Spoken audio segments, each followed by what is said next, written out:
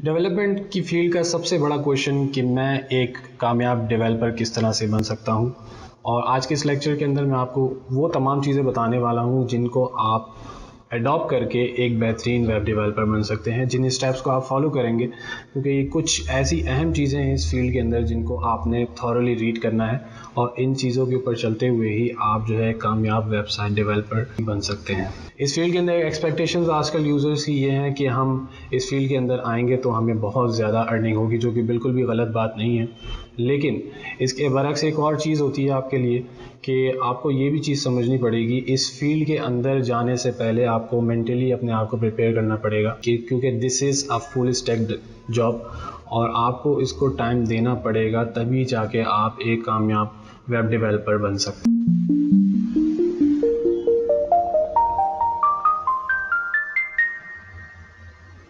دس از می عمران سید اور آج کے اس ویڈیو کے اندر کچھ انفارمیٹیو چیزیں آپ لوگوں کے ساتھ شیئر کرنے والا ہوں۔ ٹاپک تو آپ نے دیکھ لیا ہوگا کہ ہم کس طریقے سے ایک سکسیزفل ویب ڈیولپر بن سکتے ہیں۔ تو اس لیکچر کے اندر آج ہم لوگ کچھ ایسی چیزیں بتانے والا ہوں میں آپ کو کہ جن کو آپ فالو کریں گے یا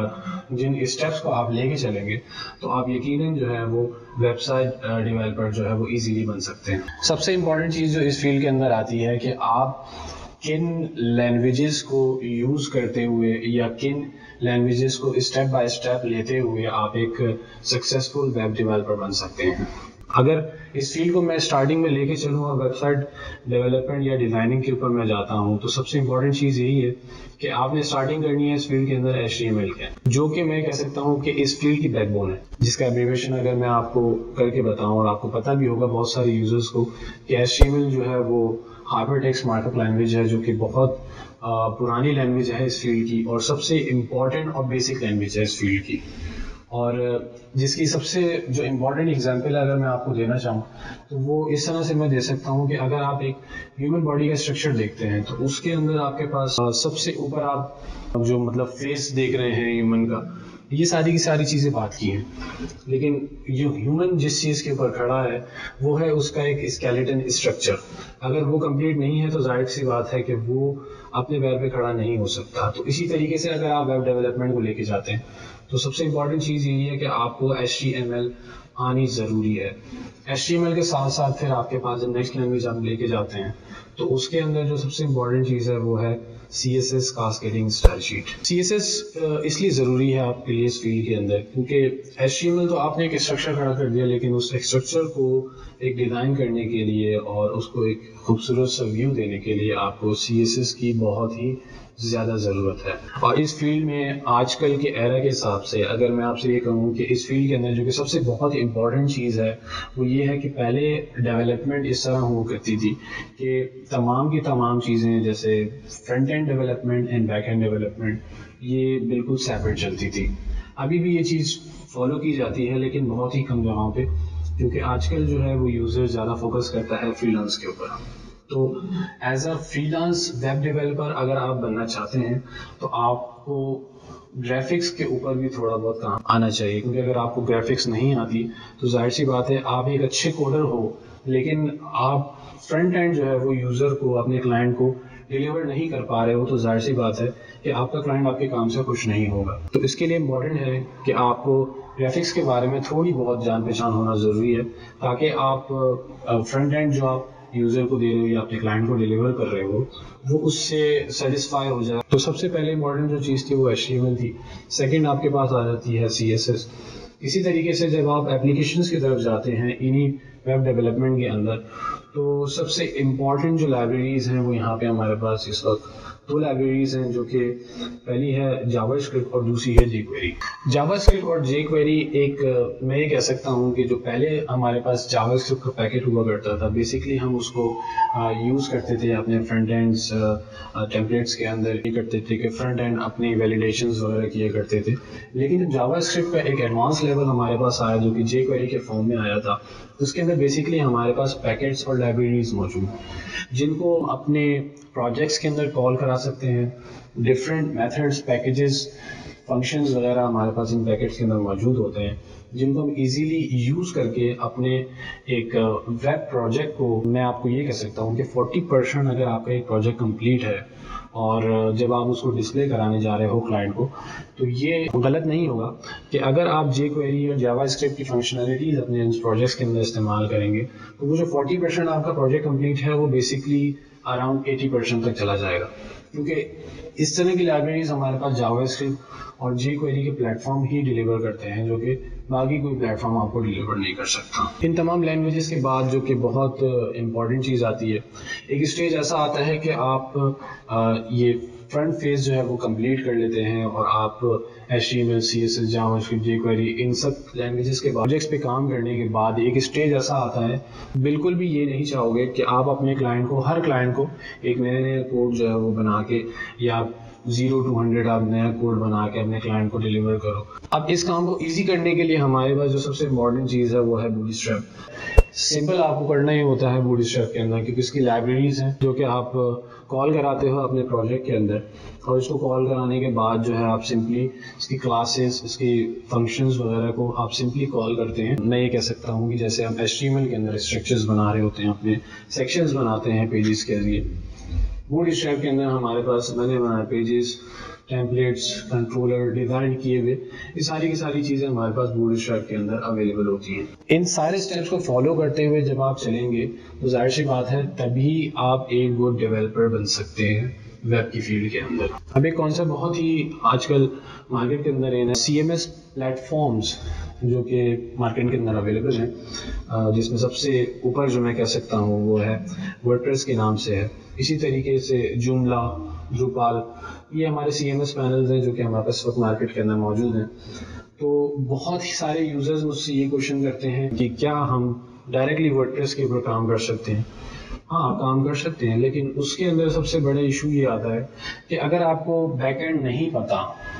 یعنی کہ آپ صرف فرنٹ اینڈ جانتے ہو H M L C S S وغیرہ،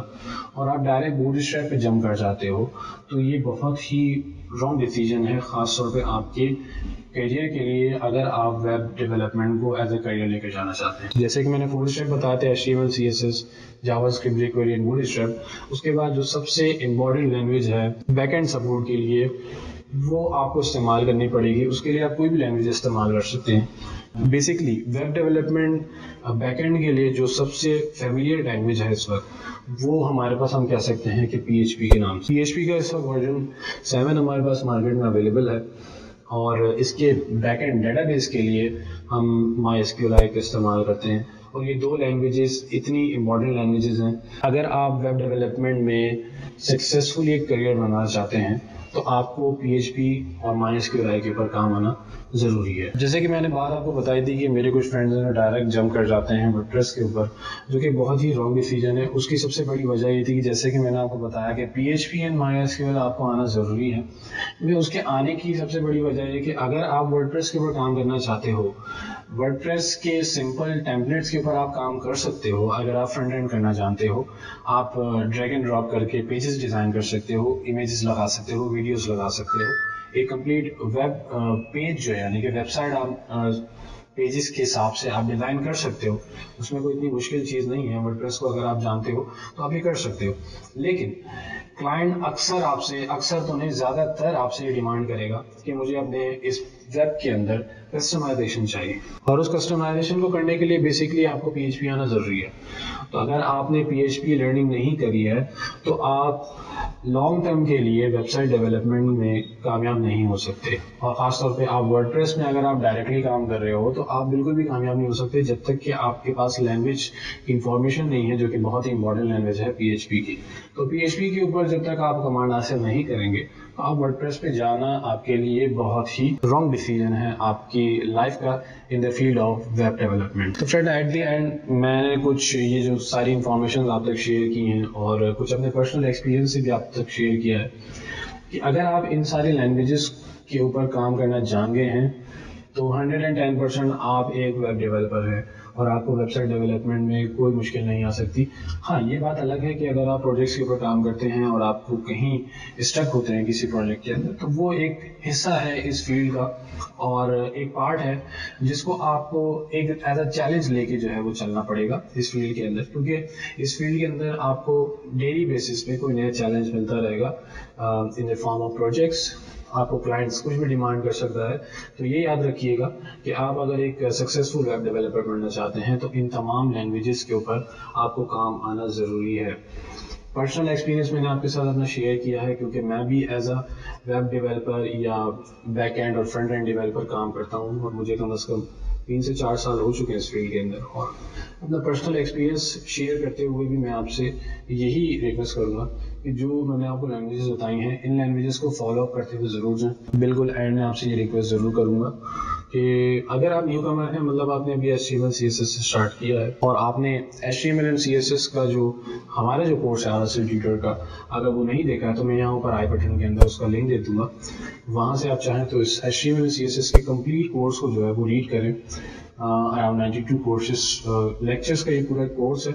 اور اس کے اندر میں نے A to Z complete details جو ہیں، وہ اس کے اندر شیئر کی ہیں آپ کے ساتھ. اگر آپ ان کو کمپلیٹلی ریڈ آؤٹ کر لیں گے تو ہنڈریڈ اینڈ ٹین پرسینٹ آپ کی بیسکس اور ویب سائٹ اسٹرکچر بلڈنگ جو ہے، وہ آپ کی کلیئر ہو جائے گی. اور رہی بات آگے جو ایڈوانس لیکچرز یا پروجیکٹس ہیں، تو ان کے اوپر بھی جو ہے میں آگے جا کے مزید کام کرنے والا ہوں اور بہت ہی ایڈوانس لیول کے جو لیکچرز ہیں S T M L C S S کے پروجیکٹس کے، وہ دینے والا ہوں. تو سب سے پہلے آپ سے یہ ریکویسٹ کروں گا کہ آپ نے اگر ابھی تک چینل کو سبسکرائب نہیں کیے سبسکرائب کے بٹن پہ کلک کیجیے اور ساتھ ہی موجود بیل آئکن کو بھی کلک کر دیں تاکہ آنے والی ہر ویڈیو لیکچر کی نوٹیفیکیشنز آپ کو ایزیلی ریسیو ہو سکے۔ میں نے اپنی پوری کوشش کی ہے اس لیکچر کے اندر آپ کو بتانے کے لیے کہ کون کون سے اسٹیپس ہیں جن کو یا کون سی لینگویجز ہیں جن کے اوپر آپ لرننگ کر کے جو ہے ایک سکسیزفل ویب ڈیولپر بن سکتے ہیں۔ جاتے جاتے آپ سے ایک ریکویسٹ کروں گا کہ یہ تو میری پرسنل جو ہے وہ رائے تھی جو کہ میں نے آپ سے شیئر کی ہے۔ اگر آپ کی کوئی مطلب دینا چاہتے ہیں اپنے سجیشنز اس فیلڈ کے حوالے سے، تو میں آپ کے سجیشنز کا ضرور ویٹ کروں گا۔ کامنٹ میں بتانا مت بھولیے گا کہ آپ کی کیا سجیشنز ہیں اور وہ کون سی چیزیں ہیں جو آپ مجھ سے بہتر جانتے ہیں یا آپ کو ان چیزوں کے بارے میں پتہ ہے جو مجھے نہیں پتہ، تو وہ شیئر ضرور کیجیے گا تاکہ میرے ساتھ ساتھ جو باقی یوزرز ہیں ان کو بھی فائدہ ہو اور مجھے بھی جو ہے آگے فیلڈ میں فائدہ ہو۔ اور امید کرتا ہوں کہ اس لیکچر میں میں آپ کو جو ہے وہ امید ڈلیور کر سکا ہوں۔ وہ چیزیں جو کہ مجھے آپ تک ڈلیور کرنی تھی، تو اسٹیڈیول رہے گا سبسکرائب کرنا مت بھولیے گا، ملیں گے پھر کسی نیکسٹ لیکچر میں، تب تک کے لیے ٹیک کیئر اللہ حافظ۔